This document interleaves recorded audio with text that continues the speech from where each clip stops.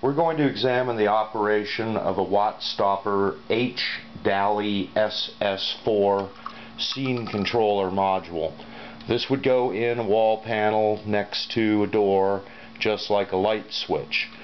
You have uh, one, two, three, four, five buttons on here and they will control scene 0, 1, 2, 3 and this one will rotate between scene 0 or scene 3 and scene 15. So there you have scene 3, there you have scene 15.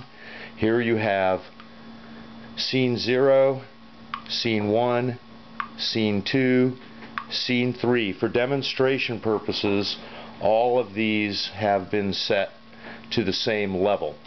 Uh, we'll next examine uh, what happens with uh, setting different levels in the lights for this scene and each of these little lights could be 100 watts of LED lighting or a fluorescent ballast or a high intensity discharge ballast or even incandescent lights on a phase controller. Now I'd like to point out that on the back of this unit there are four dip switches which will allow you to enter in binary 0 to 15 for which groups you will be controlling. In this case we've chosen group 0 and we placed all the lights at the same intensity. There's 100%, 75%, 50%, 15%.